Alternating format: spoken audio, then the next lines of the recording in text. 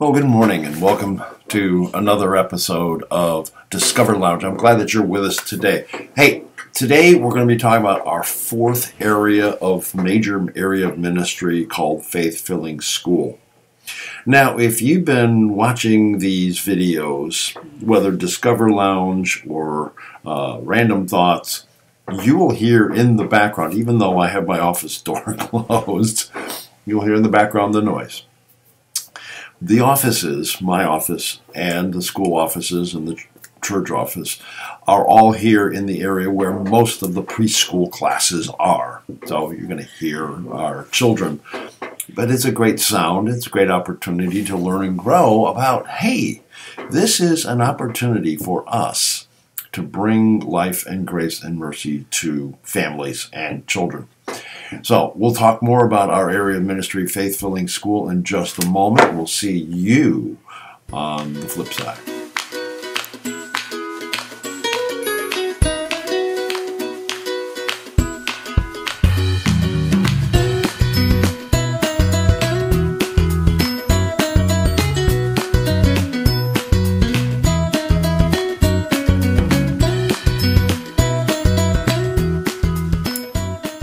Faith filling school. A couple of things I want to bring to your attention today in this context, and that simply here is boom, there it is, faith filling school.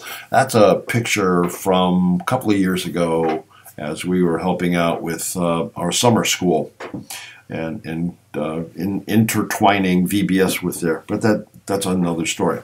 Faith filling school. What what are we? What are we all about? We're about bringing reading, writing, and arithmetic to children from infancy through fourth grade. Like I mentioned previously, uh, we're in the, build, the building where the infants through the two-year-olds are at. We have a wonderful opportunity to bring uh, children and families into a great relationship with Jesus. And that's really what it's all about, is bring Jesus into each classroom. It's one. It's the most advantage that we have here at Faith is to be able to bring Jesus into a classroom. Can't do that in public schools. Can't do that in charter schools. Can't do that in any other form other than Christian schools.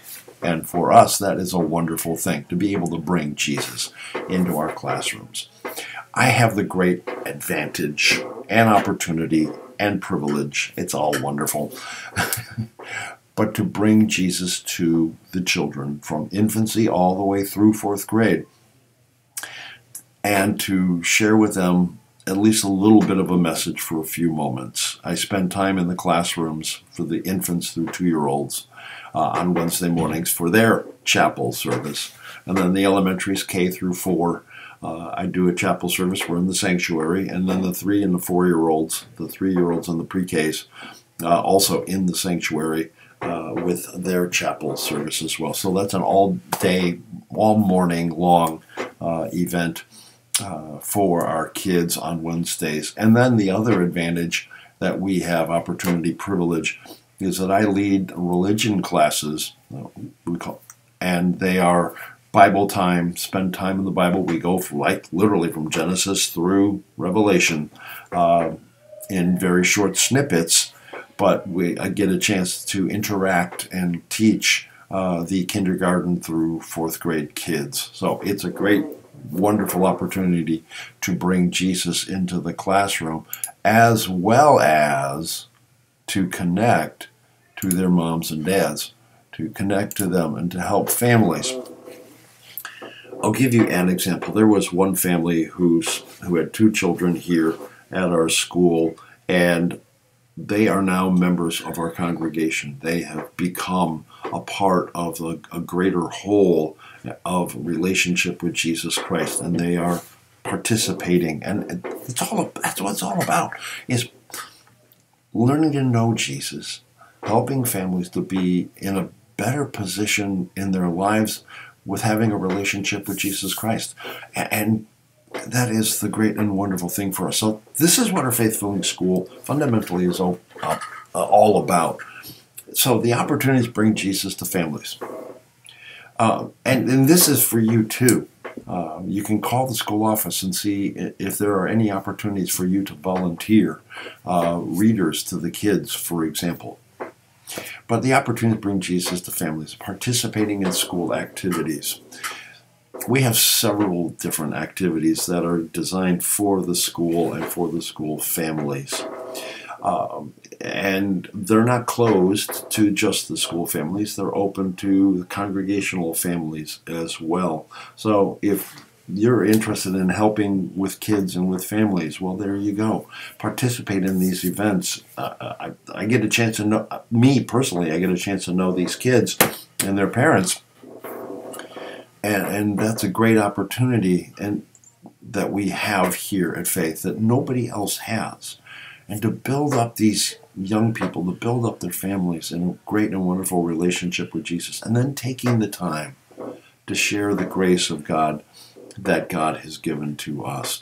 These are just a few of the opportunities that are available for us here at Faith, for you to be a part of as well. Well, many people have asked over the years, and it's just, it's a challenging question to be quite honest um, with economic things and realms as they are.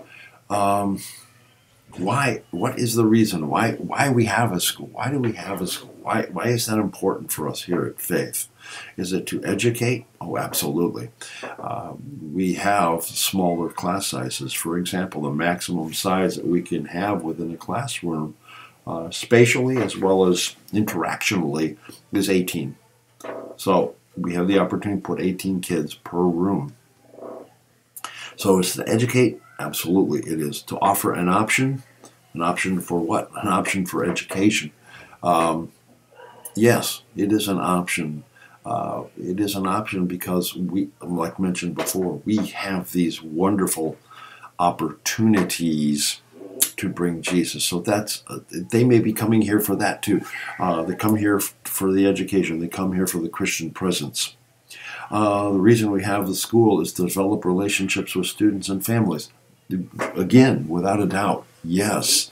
Um, we have a grand opportunity, especially for children and families who do not have a church home.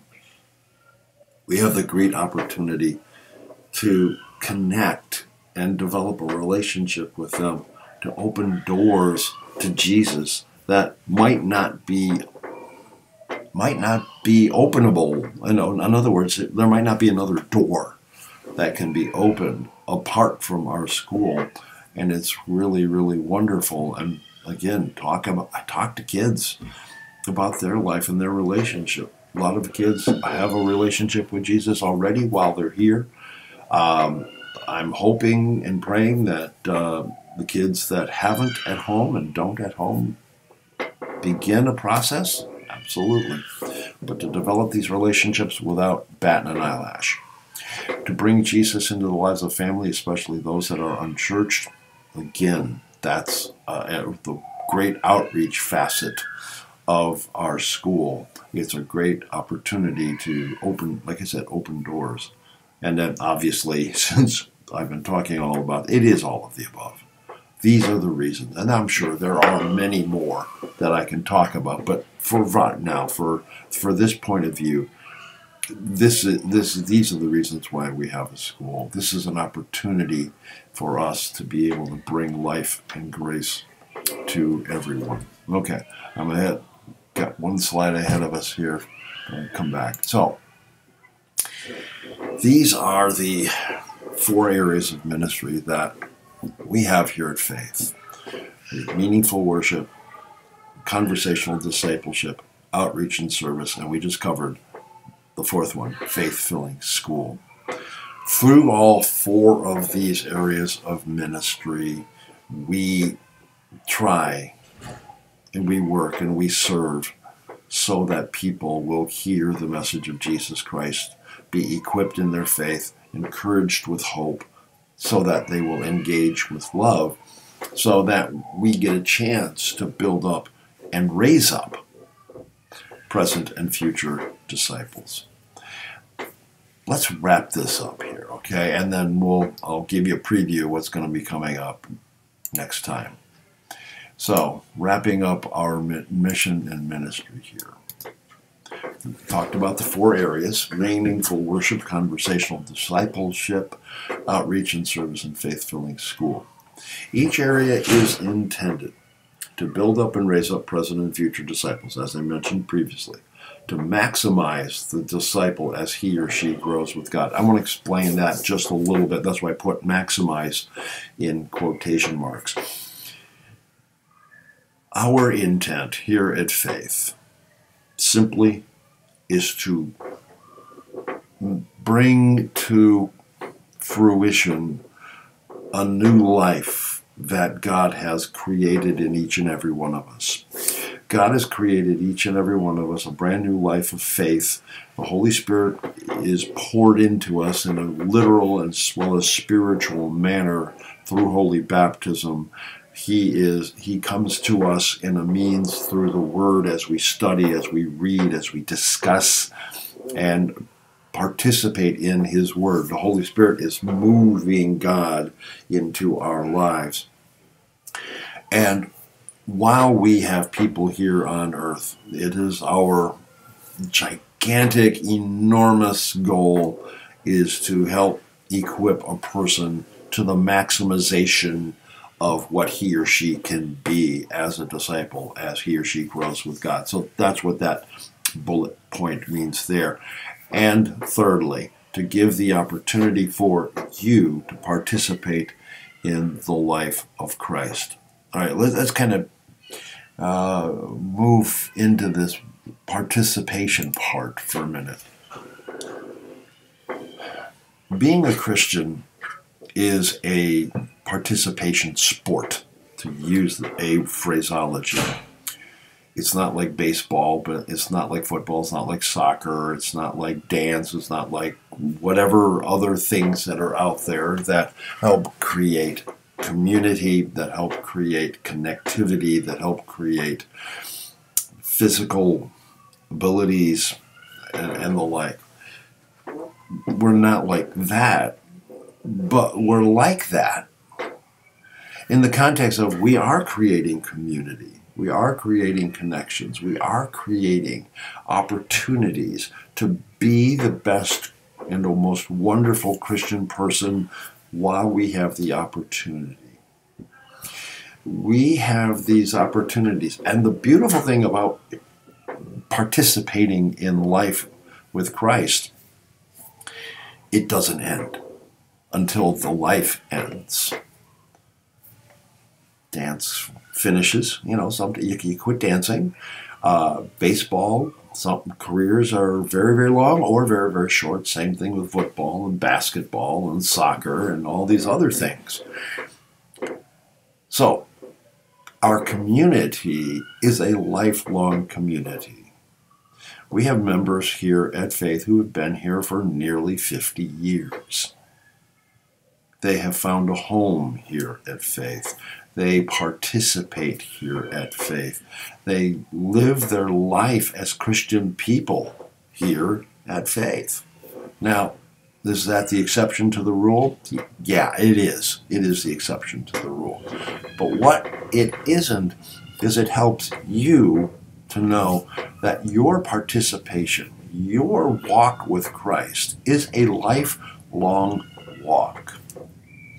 It is not a short term career walk. It is a lifelong walk. You never quit walking as a disciple of Jesus Christ. And we have the opportunity to raise you up and to build you up as a person to live their life walk with Christ as a disciple. Being a disciple is not a temporary thing. Being a disciple, like I said, is a lifelong thing. I'm going to, I'm beginning to repeat myself. anyway, but it's also a community, yes. It is a, an opportunity, it's relationships, absolutely. It, it is commonality. We have a common goal, and that is ultimately to build up and raise up present and future disciples. but to participate. And that's really what I want to ask you as a disciple of Jesus to participate in your walk with God, with us here at Faith, to join and participate and build one another up. Okay. What's going to be happening next in Discover Lounge? Well, we are going to discover the means of your participation. In other words, you as a Christian have certain skills, talents, opportunities. You also have gifts that come from God. We're going to talk about all four of those things skills, talents, opportunities, and gifts. That's next in Discover Lounge as we move, help move you forward and into a stronger and a more wonderful relationship with God. Okay. Any questions, any thoughts, comments, please let me know. I'd love to hear from you in that. If any questions about our school, there you go. That's the comment spot for you to participate in as well. We'll, we'll talk to you soon. We'll see you Sunday morning. Sunday morning in Bible study 9:15. Sunday morning in worship at 10:30. We'll see you then.